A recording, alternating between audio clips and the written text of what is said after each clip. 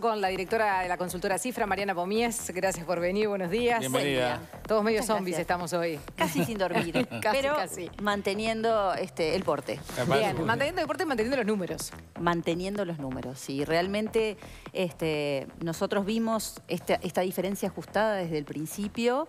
Eh, y de hecho, en el canal y el Canal 12 fuimos los primeros en, en dar esos números, pero no por un acto de irresponsabilidad. O sea, estábamos convencidos de que los números eran buenos y que la diferencia iba a ser muy ajustada, sí, pero que era muy difícil que cambiara. Que En algún momento inclusive dijiste al comienzo, a las Sí. 20.32, que inclusive lo del margen de error estaba allí Sí, este, como, un punto eh, importante, sí. pero... Pero, eh, pe- pero era este, muy clara, nosotros mirábamos, analizamos por región, por localidad, veíamos que era todo razonable, que todo estaba funcionando bien y que además la gente quería saber quién ganó. O sea, que, que no- se merecían, si nosotros estábamos tranquilos y seguros de esto, saberlo. Y, y me parece que en eso, este, desde el canal y desde todo el equipo, fue lo que tratamos de transmitir. ¿no? Ahora, Mariana, eh, la diferencia fue mucho más ajustada de lo que se esperaba. Sí, ¿Qué, qué pudo sí. haber pasado? Yo creo que ahí hay una conjunción de factores. Eh, le voy a decir algo como muy... Lo más fácil es echarle la culpa a Manini. Sí. Mm.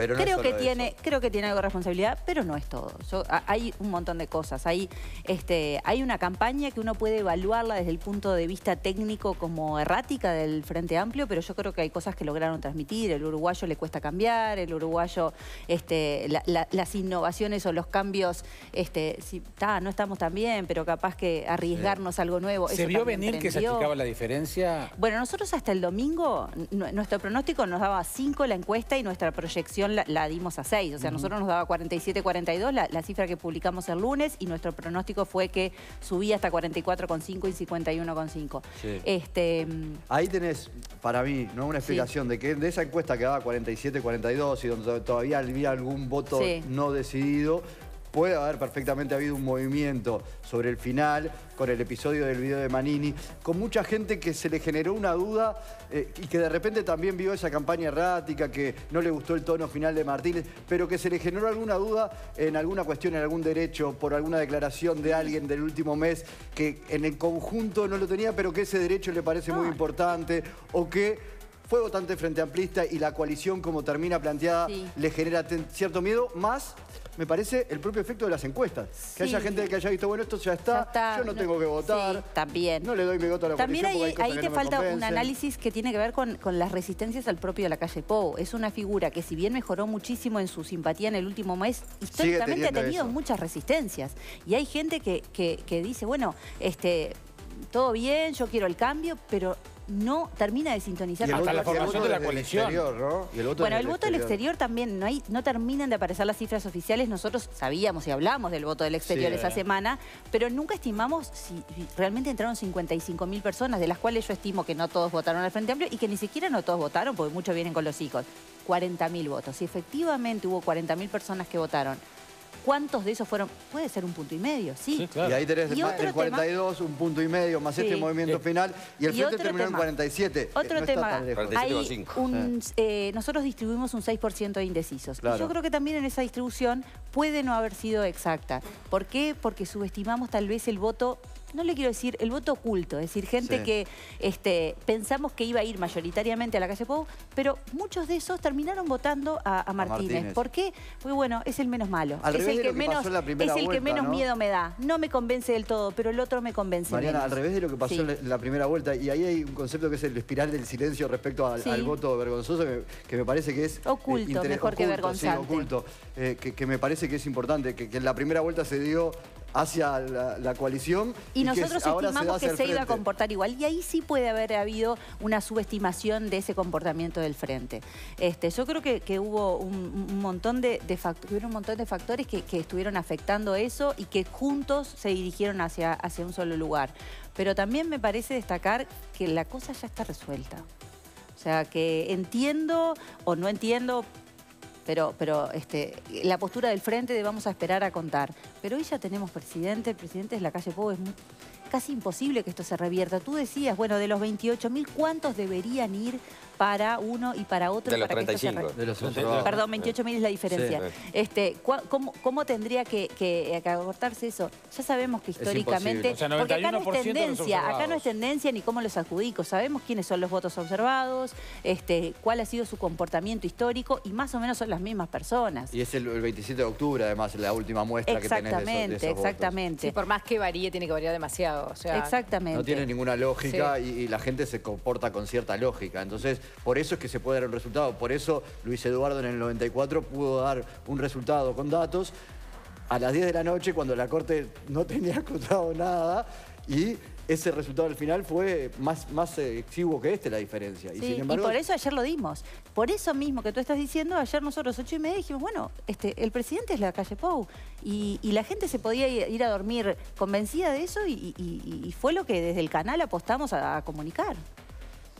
Bien, sí, claro, eso generó lo que pasa que eh, cu- cuando dijiste ajustado y después, bueno, lo que se manejó en otras encuestadoras, esa incertidumbre Esa que se generó. en- en la calle. Pero Claro, realmente nosotros yo no la veía, yo veía mis números y siempre iban para el mismo lado. O sea, llegaban nuevos datos y nunca se revertía y eso. con los números del 100% estable. escrutados mantenés eh, esos Exactamente. números por las razones que Damos que fe con. Juanchi que, que detrás de cámaras estaba el equipo trabajando y Claro. que la persona que tenía los números adelante miraba los números y nos decía, esto es Ya así, está. confíen en, en la fuente, confíen en los datos. Y la- ahí la diferencia era un poco mayor, era, era 2%, pero bueno, 1,2 está dentro del Pero sabemos Ahora, que había Mariana- mucha cautela de parte de la competencia en otros canales, pero realmente nuestro trabajo nos indicaba esto y confiamos en eso y creo que el canal también apostó a eso. y- ¿Cuántas llamadas recibiste ayer de ambos partidos?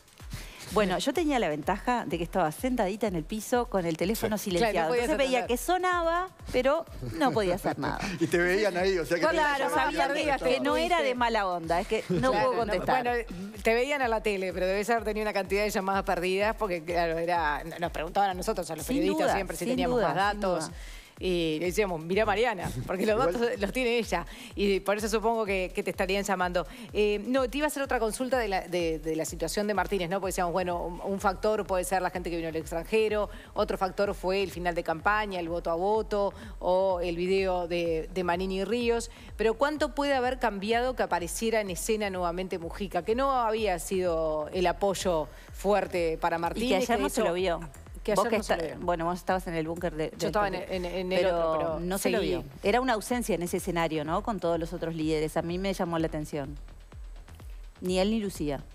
Lo que pasa es que en realidad, un poco con Mujica se apostaba a recuperar determinados votos del interior.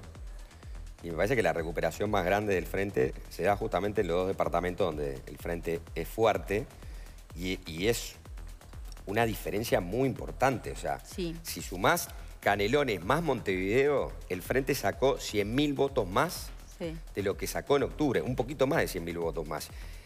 Y eso es... En una- Montevideo son es- casi seis puntos que Es crece. una locura el, Bueno, esa ahí, ahí, ahí, diferencia, ¿eh? porque además se habló mucho de, de- de- de dónde estaba el electorado, Sí. de dónde había perdido el frente, y si Martínez recupera por ahí, parece tener más mérito él en, en esa recuperación en, en el Claro. final, o él, o, o, bueno, La, estra- la estrategia Sí. a la que él apostó que fue el voto a voto. Exacto. Él, él o, o la militancia. o la militancia, Por eso, exactamente. él le Acá, dejó- en ese sentido, me Sí. Yo parece leía a muchos este, Sí, sí. di- dirigentes frente amplistas. Dirigentes, estoy hablando de tercer y cuarto orden, ¿no? En, en Twitter, Sí, sí. Que, que lo sigo.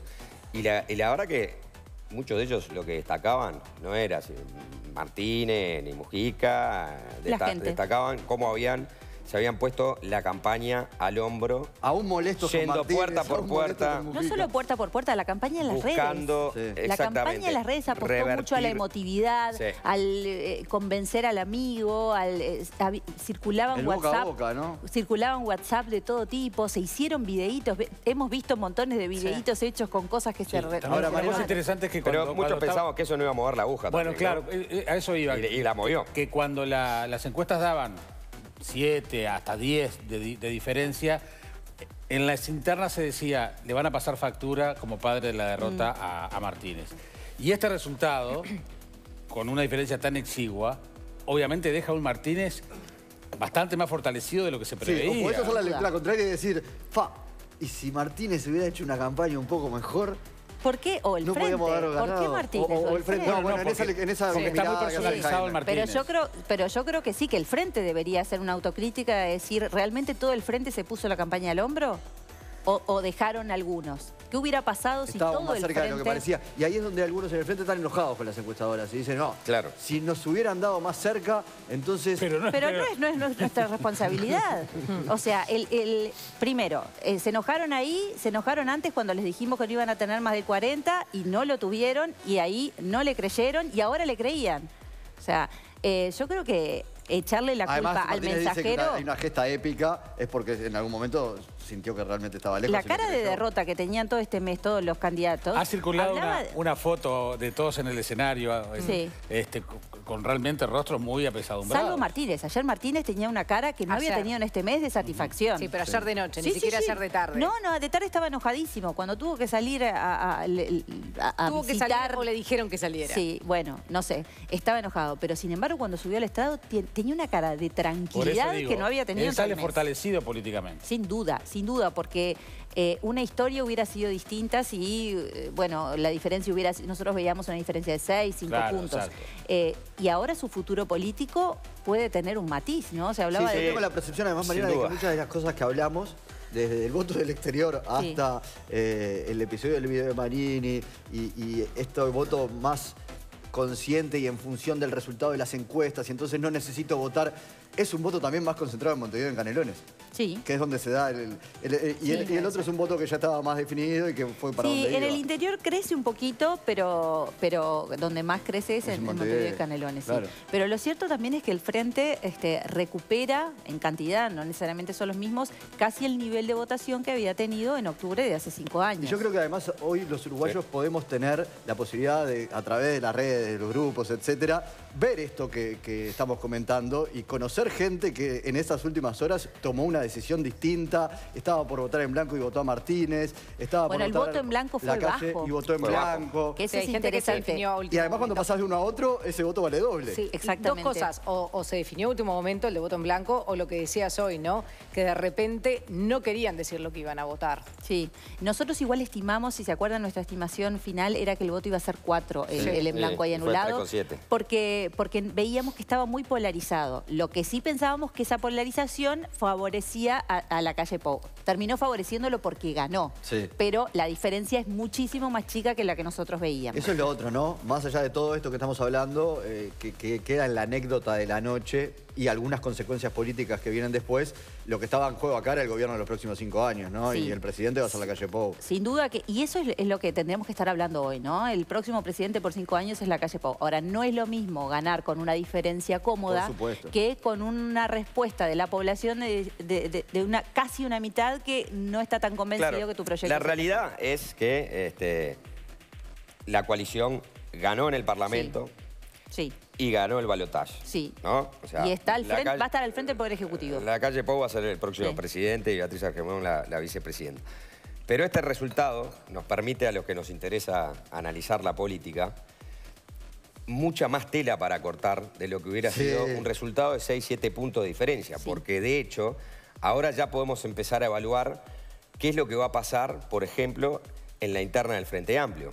Podemos empezar a evaluar si en realidad se le adjudica a Manini Ríos y su video alguna intención de lo que fue este resultado más ajustado. Que ya sabemos qué es lo Claro. que piensan eh, en, en Eh, lo- en la cercanía de, de- de la calle Eh, Pou, en la Exactamente, o sea, de, hay, mucha- hay muchas lecturas para hacer. Yo creo que la primer lectura la hicieron en su momento los militantes del Frente Amplio, que estaban en la calle, y el primer canto que le salió fue Milicos nunca, Nunca más. más. Sí, exacto. O sea, lo sintieron de esa manera. Sí. Sintieron que lo que había pasado ayer era una bofetada al que les había dicho o al que había hecho un video para que no los votasen. Así lo sintieron, así lo expresaron. Yo creo que es interesante analizar también, como tú decías, lo que nos gusta, el impacto que tienen esas cosas. O sea, qué cosas hacen que a la gente le salga la, la defensa de, de- de la democracia más, in- este, más de piel, ¿no? Sí. Porque uno veía las redes y era una indignación, y no solo de votantes del frente.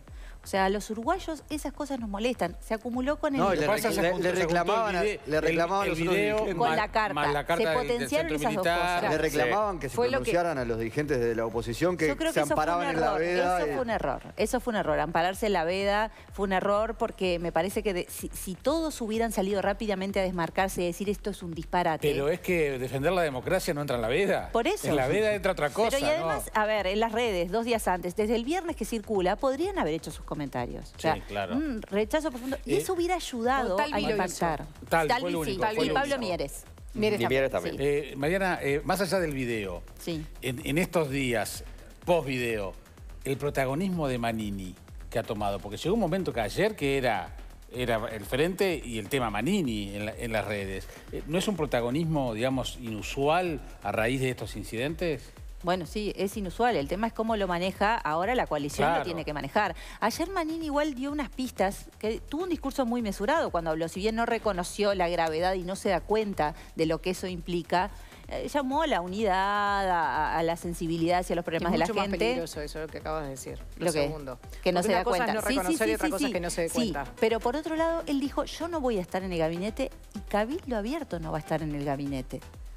¿Sí? Sí, Manini ha tenido gestos, en- en- lo hablamos la semana pasada, ¿te acordás? Sí. Que, que él estuviera haciendo un acto final separado, más allá de que estuviera Irene Moreira allí representando a Cabildo Abierto. Manini hizo el acto por su cuenta final, más el episodio del video. Él parece estar mar- marcando un protagonismo. Él ha sido el que siempre estuvo más distante de, de la coalición. Sí, pero también, o sea, yo creo que, y ahora la calle Pou lo necesita, lo- necesita los votos del en el Parlamento claro. de, de Cabildo Sí Abierto. o sí. Pero ellos están aparentemente desmarcando de integrar el Ejecutivo.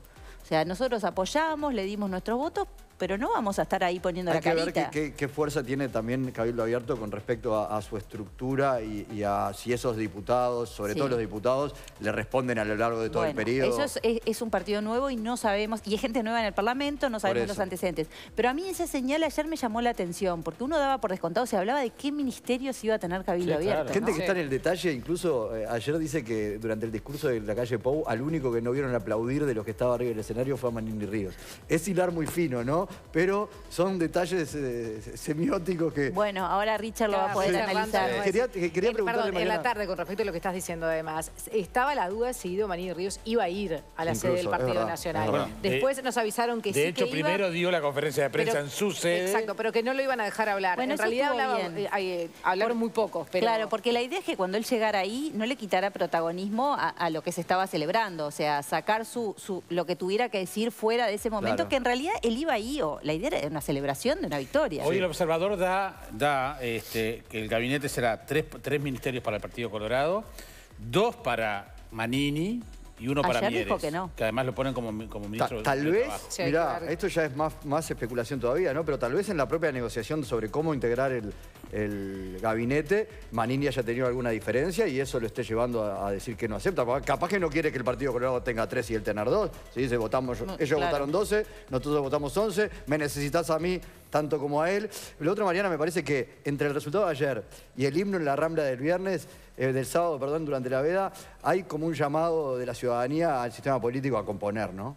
Sí, a componer y a defender la democracia. Sí. Y a decir que sí y que no eh, es bueno A para todos, el país. al frente Sí. y a la coalición A sobre todos. todo. Sí, Para la coalición que le toca gobernar hay Yo un mensaje que muy más claro. allá de si se debe o no a eso, la indignación que uno vio estos días habla de que se espera de la clase política una defensa. Es decir, bueno, a- a- hasta acá no, no. Hay cosas que Juanchi no. tiene sus dudas. Tengo mis dudas este, porque en definitiva a Martínez le faltó en su discurso la parte de reconocer al otro. Sí. Sin duda. Y no la tuvo. Ya no, digo de Sí, que sí. aceptara la derrota Bueno, y que ese es Martínez reconociera no que... la ciudadanía. Ese ¿Eh? es Martínez. Martínez no estuvo a la altura Bueno, del desafío que la ciudadanía está planteando para mí. si el Frente Amplio Martínez fue el que habló. eso. Sí, sí, claro. No sé, Claro. Y lo que piensa candidato- lo demás no lo sé. Yo, No, yo vi a Martínez. Martínez fue el que habló. Es verdad. Ten- Tenés, tenés razón. Yo creo que eso fue hasta un poco irresponsable. ¿No? Porque eh, ayer hablábamos, la gente tiene que convivir. Blancos y, eh, o votantes de, de la coalición y votantes del frente están conviviendo hoy en distintos lugares de trabajo y todos se sienten ganadores. No. Está bien, ganó el país, pero en realidad ya tenemos un presidente y hubiera sido bueno que el discurso, sí había que aplacar a las masas, era muy difícil también. Eh, nosotros nos reíamos Sí, sí. fuera de cámara, ¿cómo le decís a la gente, bueno, váyanse a sus casas con el, después de horas de estar esperando y, y gente que ya creía que estaba todo perdido y re- había recu- eh, recuperado las esperanzas? Es muy difícil eso. Pero yo creo que ahí el discurso llama a la responsabilidad, o sea, alegrémonos y festejemos por lo que conquistamos, porque fue un crecimiento inesperado, una votación inesperada, pero ya hay un presidente Y- y- electo. y- El Frente Amplio sigue de pie, reconocemos la derrota. Y vamos a estar ahí marcándole el, Somos la eh, eh, oposición eh, más los grande de la talones, historia, porque claro. tu- estamos, estuvimos muy cerca. Pero ayer Pero lo que, lo que nos dio la sensación, que me parece que es algo que no se ha comentado mucho, que la calle Pou, aparte de que va a ser el próximo presidente, en definitiva, lo que hizo fue un logro muy importante que él lo fue construyendo a poco y que ganó a pesar de que su aliado más inesperado, que era Cabildo Abierto, también le jugaba en contra a la hora de apelar al voto de centro. Sí. Entonces, le sumó votos Cabildo, es, es evidente. Sin, sin duda que le Pero sumó le hubiera votos. sumado mejor si hubiera tenido un partido con experiencia política. Exactamente. Cabildo no la tenía. Sí. Otra cosa que me parece destacar, que lo hablamos la semana pasada, es de la aparente obediencia de la gente a lo que los partidos decían. Yo creo que él armó una muy buena coalición de los líderes, pero la población no respondió también a esa coalición. Porque hay eh, casi 9% de votos, 8 y pico, que no votaron a la coalición y que se Claro. fueron a votar al Frente Amplio. Nosotros veíamos una mayor obediencia y volvió a pasar lo que había pasado otras veces. La gente terminó eligiendo, más allá de lo que dijeran sus líderes, la opción que consideraba mejor o menos mala. Que a veces no ni siquiera son sus líderes, es a quien votó en octubre. Exactamente, pero nosotros veíamos una mayor obediencia que no se dio. Bien, Mariana, muchísimas gracias por estar hoy con nosotros. favor. Hoy te vamos a ver también en Eh, Telemundo. seguimos en Telemundo. Exacto, gracias Mariana. Gracias. Tenemos que hacer una tanda. Al regreso, bueno, estuvimos hablando mucho de cómo analizar esos discursos, también cómo analizar a Guido Manini Ríos, porque no, más allá de todo, fue uno de